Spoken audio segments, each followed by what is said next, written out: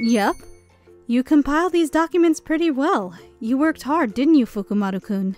Good job. I breathed out a sigh of relief after my direct supervisor, Mari Tamura, approved my work. Ah, thank God. Is this something to be that relieved over? Of course it is. It's a pretty big project after all. Is that it? What does that mean? Well, I just thought maybe you were scared of me or something. That's not true. Are you sure? Of course. If you say so. Hey, should we celebrate after this today? Just the two of us? That's up to you, Fukumaru-kun. I'm not a child, so I understood what her words were trying to imply. My heart moved just a little bit. Mari-san was beautiful and nice, even if she was a bit strict sometimes. She was young, but was a promising employee at her company. And there were many men who had their eyes on her. Maybe one or two steps. If I initiated those steps towards her, perhaps it was possible for me to reach her. No, I think I'll pass on tonight. Please invite me again on another day. Listen, Fukumaru-kun. I'm not going to take that as a social pleasantry, you know. I'm actually going to invite you again. Of course, I really just can't make it tonight. Why not? I have to work overtime since I paused other assignments to work on these documents. Oh, I'm sorry. That's true. If you're asking me to join you for overtime and not drinking, I'd love to join. Oh, what a wonderful invitation. Thank you. Maybe we should work overtime together then. Yeah, that might be fun. No, I don't think it'd be fun. Is that so? Yeah, of course not. That's what I said, but working together might be a lot more fun than working alone. That's what I was thinking in my head. In the end, I had to work overtime until the clock struck midnight. Ugh, so tired. Well, I do feel good though. I don't hate the feeling of finishing up a pile of tasks. Guess I'll have to lift my ban on alcohol for tonight. I'll buy some drinks and snacks at the convenience store and have a glass while I watch a movie at home. I'll do just that. I'd become an old man before I realized it. It was at that moment I heard a woman's voice from somewhere. It was a voice that I recognized. My legs were instinctively moving towards it. Like I said, just come to my place. I'll decline. I don't have any money. I don't need money. You can pay me in some other way. I can't do that. I can't. I can't. Why not? You're not my type. I like that. A firm woman who's a little rude. Exactly my type. Huh? Kaho? What are you doing? Tsutomu? Uh, was I interrupting something? Stupid. Come on, let's go home. I was waiting for you. Hey! Okay then, my boyfriend's here, so I'm going home. Excuse me. Thank you for entertaining me while I waited. Uh, hey, what does that mean? Come on, just go along with it. That annoying guy was bothering me. I see. You're honestly not attentive at all. I could hear the man grumbling at us from behind me. Kaho ignored me, grabbed my arm, and started walking. You can probably let go of my arm now. After walking about five minutes away from the park, I spoke out. I know that. I shouldn't keep clinging onto my ex-boyfriend's arm, right? It's been a while. Yeah. We haven't seen each other since our high school graduation, so it's been a couple of years now. We're both adults now, huh? I heard you moved out to Tokyo, but I know you came back here. Pretty much about six months ago. Hmm. You too, Tsutomu. I didn't know you found a job here. My suit doesn't fit me well, does it? Absolutely not. It's saggy and wrinkled. Shut up. This woman, Kaho Mayuzumi, was my Tsutomu Fukumaru's ex-girlfriend from high school. We dated for two years, a long time considering that we were high school students. Every time I think of my adolescence and youth, memories of her would pop up as though they were bookmarked. But no matter how sweet those memories were, they were just bitter now. All because our love ended one day, very abruptly. By the way, Tsutomu, do you live alone right now? Yeah, I do. Perfect. Let me stay over. What? I have nowhere to go. What have you been doing until today? I was freeloading at my friend's apartment, but she kicked me out because she got a boyfriend. Horrible, isn't it? What about your parents? Are you being serious right now? She glares at me. That's right. Kaho didn't have a good relationship with her parents. But you know, you're technically a woman. I'm not technically a woman. I am a woman. I'm not talking about that. After Kaho realized what I was hinting at, she let out an understanding sound.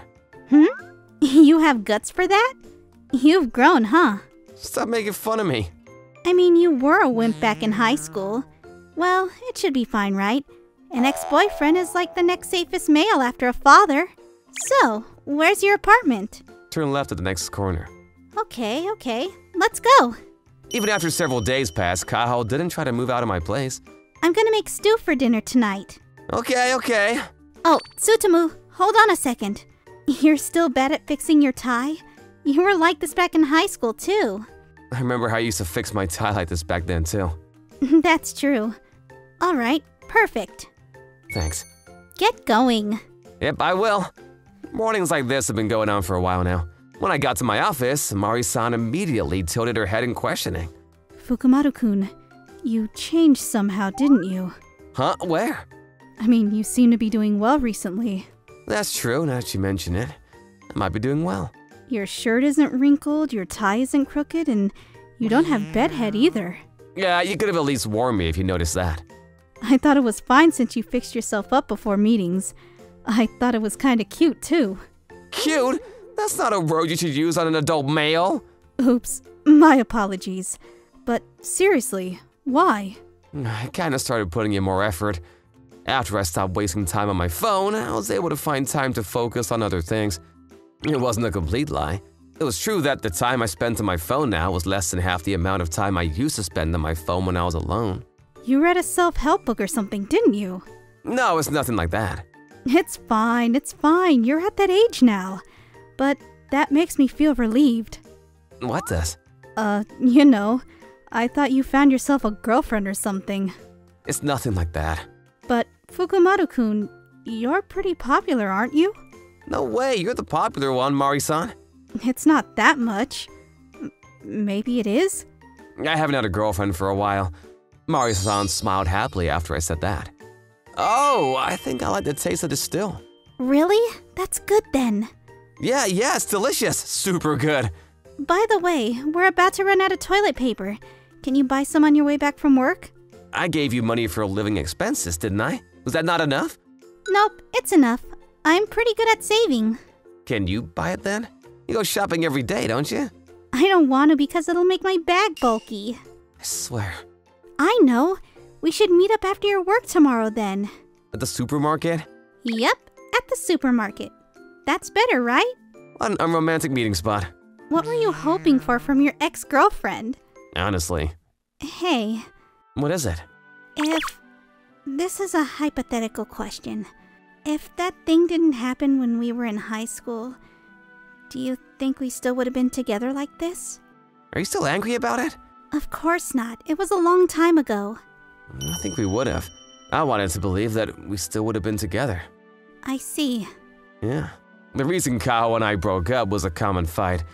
One day, Kaho asked to talk to me with a solemn look on her face and told me that she wanted to end things. Why? Why are you still saying that you want to break up? Why don't you ask yourself that question? Seriously, I don't have any clue about what's going on. You cheated on me, didn't you? Excuse me? I saw you. I didn't cheat on you. Boys always make excuses. I can't believe you.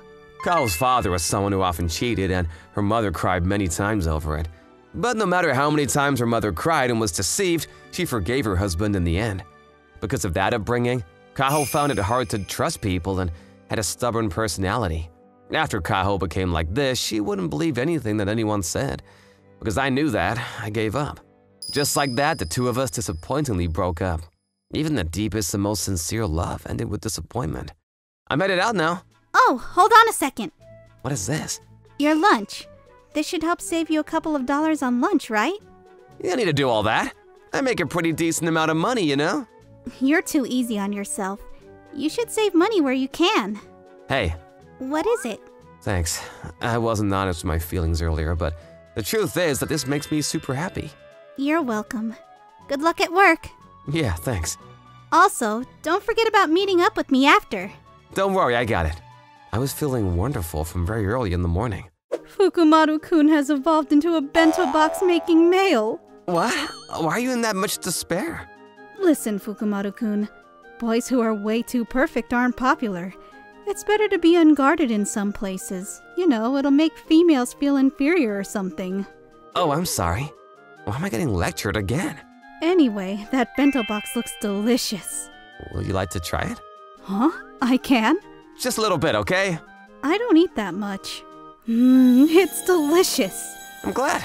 Your wife is going to be one happy woman, isn't she? After I heard that, I thought of the one woman who made this bento box for me. Would you like to go out for food? As my way of saying thanks. We're eating right now, aren't we? Not now. At night. Dinner. I remembered my promise to Kaho for a moment and thought about declining.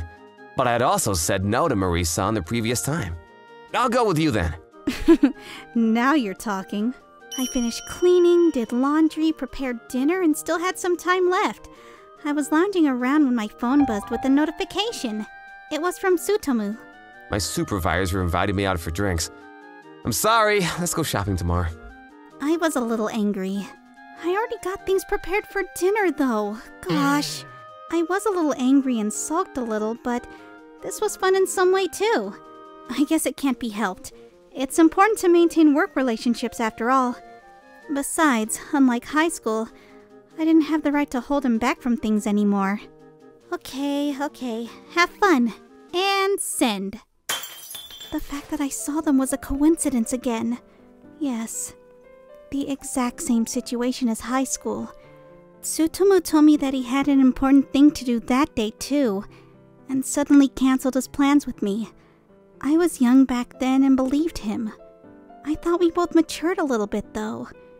It seems like things were still the same. Tsutomu seemed to be working hard, so I thought I'd go get toilet paper on my own. When I left the house, I found him. He looked like he was having fun walking with a very pretty young woman. My heart hurt. Just like it did in high school, my heart ached. I know the name of this pain inside my heart. It's called love. Even if we broke up, even if multiple years passed, more than anything, even after he betrayed me, I had always, always been in love with Tsutomu. I was the same as the mother that I claimed to hate so much. The apartment that I came back to after drinking with Mari-san was dark. It was supposed to be a familiar scene, but I somehow had a bad feeling. That bad feeling was right. With a flick, I turned on the light, but Kaho was nowhere to be seen. Her belongings had all disappeared too. I felt a chill run through my spine. I didn't even bother to change before I ran out of my apartment. I ran around all the places I knew. The park where we reunited, the supermarket where I was supposed to meet her. Her female friend's house that she had been living in for a while, even her parents' house. Kaho was nowhere to be found. The only place left is the moon was watching me run. I'm surprised you knew where I was. I didn't, I didn't, so I searched everywhere. I ironed your shirt for you, but it's all wrinkled from your sweat now. I need you to wash this and iron it out again tomorrow. Kaho was at her road high school. She couldn't go inside, so she was sitting alone in the corner of the campus. I can't do that anymore. I'm moving out of your place. Why are you angry? I'm not angry. You are angry. I'm not angry! Let's say you move out of my place. Do you even have anywhere to go? I'll do something about it. A weird man might come up to bother you again. That might be a good thing. Kaho! You don't need to get that angry with me. Besides, besides, it hurts my heart to be with you, Tsutomu. I have so much fun and it makes me happy, but my emotions are all over the place after some small thing. So it's whatever now. Leave me alone. You should just go and get along with your pretty girlfriend. Girlfriend? I know already. You were walking with her this afternoon. I can't believe you used the excuse that you were out with your supervisor. Are you talking about Mari-san? So her name's Mari-san, huh? I don't know what you saw and what misunderstanding you had, but that woman is actually my supervisor. You don't need to do this anymore. I do. There's no point in making excuses for me anyway. Of course there is. Besides, I always regretted making excuses and not communicating with you back then. I always had a needle stuck in my chest until today. Listen, Kaho, you overthink too much. Or one-sided. And don't listen to other people at all. Those things about you haven't changed at all. You don't need to tell me that. I already know. But I'm the same too. I haven't changed from back then either. I've always, always been in love with you. I haven't been able to move on these past few years. What? I asked my older cousin to come shopping with me back in high school because I wanted to give this to you. You know, I wanted to check how it fit. I pulled out the present that I had stuffed in my desk until Kaho came over to my apartment again from my pocket and handed it to her. I didn't want her to find it while cleaning, so I kept it on me. This is for me? A present for our two year anniversary. It might be a super cheap thing now, but it was all I could afford at the time. I thought that you'd be happy, but you didn't listen to a single thing I had to say. You left me one sidedly. I was pissed off. I thought about throwing it away. But just like my feelings for you, I couldn't throw it out all this time. But, but I mean, then what about that woman from this afternoon? I think Mari San likes me. No, let me be honest. She confessed her feelings to me earlier. She wanted me to be her boyfriend, but I turned her down. I mean, I'm already in love with someone else. She's a huge overthinker, selfish, one sided, never listens to me, super good at household chores, cute, and the girl I've been in love with since high school. I was out of breath, but I also felt a little better. Kaho, I love you. Yeah? That's why I want you to stay with me. Yeah. I don't want you to go anywhere else. Yeah. Can I trust you, Tsutomu? Yeah, just trust me. I never betrayed you. I won't ever betray you. I hugged Kaho's body tightly, something I hadn't done in a couple of years. Guess what? I prepared things for dinner. Why? Why? Didn't I text you that I don't need dinner tonight? It was late. I was already done with everything by the time you texted. Then I guess I'll eat. I mean, I was gonna tell you that we should eat it tomorrow. I'm hungry now because I was running around looking for a certain someone. I'll eat. I'm sorry. That's why, uh, will you make me your delicious food again? Today, tomorrow, the day after that, until forever? It's been a while since I ate out, but it wasn't that good. I guess I already grabbed your stomach, huh? Yup, yup. So, you better take responsibility for that. Guess so. I'll carry anything heavy. Okay. Let's live like that, the two of us.